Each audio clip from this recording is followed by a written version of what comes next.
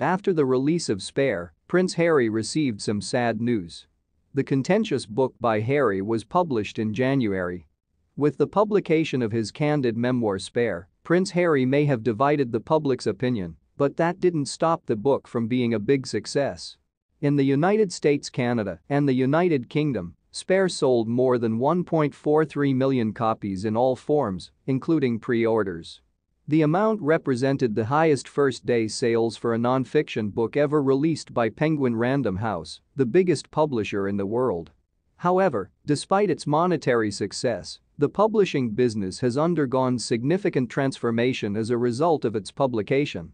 Shortly afterwards, Random House's president, Gina Centrello, declared she was retiring and leaving the company. Random House was the division that published Spare, a second prominent person has since made the decision to retire. One of the most influential people in American book publishing, Madeline McIntosh, is stepping down from her position as CEO of Penguin Random House US, the business said on Tuesday. Even though her time as CEO may have seemed brief, she reportedly stated that it had been quite intense five years, according to the New York Times. She added, I don't like the concept of staying in one place or performing one profession for a lifetime. It comes after news that Harry will be making his first appearance in front of the public since Spare was published. The prince will be present in San Francisco on March 7 and 8 for a seminar sponsored by the mental health organization BetterUp. While all is going on, focus has shifted to King Charles's coronation and the possibility of Prince Harry and Meghan Markle attending. Harry has acknowledged that it is uncertain whether they will show up. Harry disclosed this in a Tom Bradby for ITV interview. There are many things that could occur between now and then. However, it's always open.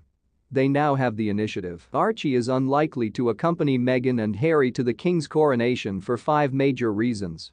Archie Harrison is the oldest of Prince Harry and Meghan Markle's two children the Duke and Duchess of Sussex's presence at the King's coronation is still uncertain, therefore speculation has focused on whether or not we may anticipate seeing their two children there.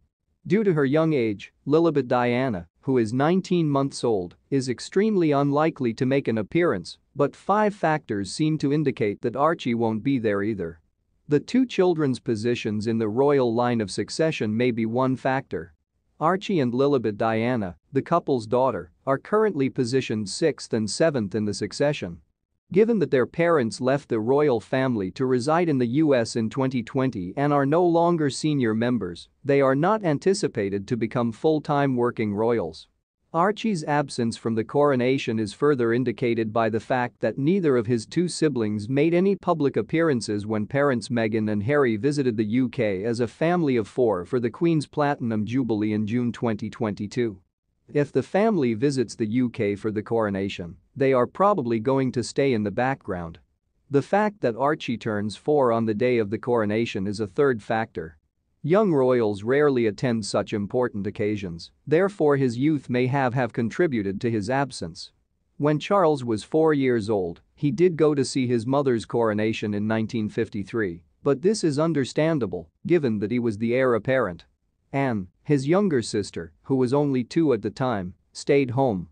The last reason is that parents Harry and Meghan rarely share pictures or updates of their two young children, keeping them hidden in secrecy.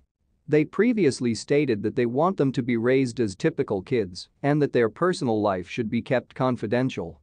Lilibet turned one while the family of four was in the UK for the Platinum Jubilee celebrations last year.